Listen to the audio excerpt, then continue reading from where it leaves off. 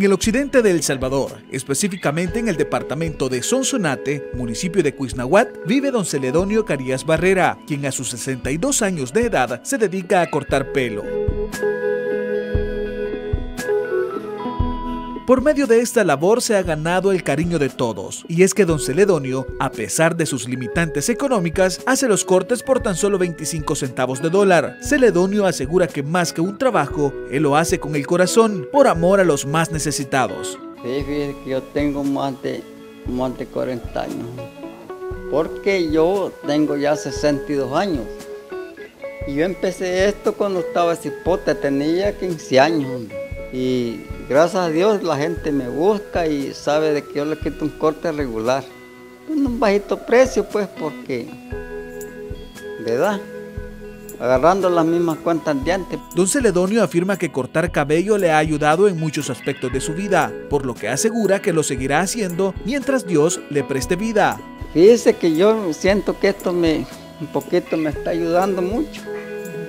Porque a pesar, de que yo pobre, como le contó mi hermano, pues yo, fíjate que yo en mi casa me siento más bien porque tengo una champa más mejor. mucha gente pues me busca, pues, ¿verdad? Y de ese tiempo yo he venido quitando, quitando, quitando y, y sigo quitando hasta la última que, la vida que Dios me dé. Y nada mejor que la aprobación de los clientes, quienes dicen sentirse muy bien con los cortes que el peluquero de Cora les hace. Mire, para mí está está bien, está todo bien, magnífico, está así, lo busca la gente aquí, lo, busca porque como él corta, pero cómodo así, pero lo busca la gente, como también le gana cómodo, pues. Por eso es que lo busca la gente.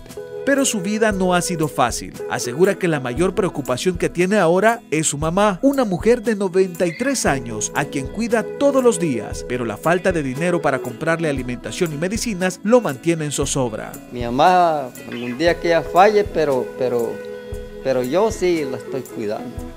Aunque no le doy todo lo que necesita, pero sabe que lo que no tengo no le puedo dar. Ya pasan con vitaminas, medicinas, este, cuido, muchas cosas, ¿verdad? Y uno por eso se aflige porque uno no teniendo las situaciones no, no puede. Uno llora dentro de la casa porque yo he llorado con esta señora, he llorado por muchas situaciones económicas, pues. Él asegura que hace unos años le ayudaron para tener una vivienda digna, pero las necesidades siguen siendo muchas. Su cama es de pita y su colchón son unos cartones. Menciona que a pesar de que sabe trabajar como peluquero, esto no le alcanza para llevar una mejor vida. Si usted desea ayudar, puede comunicarse con ellos por medio del 7808-3988. Con imágenes y redacción de Melvin Alas, este es un informe para la prensagráfica.com.